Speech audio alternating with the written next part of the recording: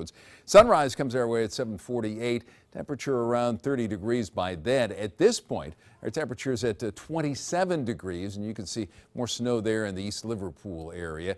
Uh, how warm is that 27? Well, that 27 actually is warmer than usual by 8 degrees. Our high today of 42 is 10 degrees above average for this time of year.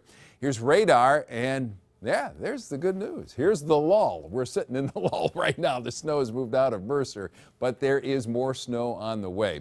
And unfortunately, it's not just snow. You see Akron, Cleveland has snow, but then you see purple and pink. That's sleet and freezing rain, and that is moving in our direction. We'll pinpoint when that starts coming up here. But now let's look at future trackers, see the snow pulling out. We get this break. 7.30, we're starting to see more snow moving in our direction.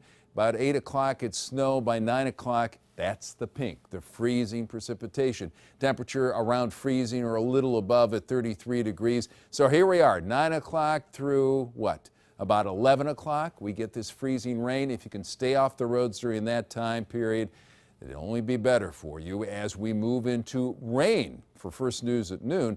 Temperature is still on the cold side, mid 30s here as we get rain throughout the afternoon. Temperatures finally warming up to around 40 by first news at 5 and 6. We continue to get rain through the evening hours. It will taper off after first news at 11, and Paul Wetzel will be telling you about cloudy skies for tomorrow morning and rain probably tomorrow evening.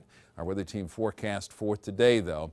Uh, we get that uh, mix of precipitation coming our way around 9 o'clock, and that stays with us for a couple of hours before it's all rain in the afternoon. That high of 42 holds off until the evening, and it's going to be windy with wind gusts up to 30 miles per hour. Then for tonight, cloudy with rain. Temperature still in the 40s by midnight, and then it drops off to 32 tomorrow morning during first news this morning.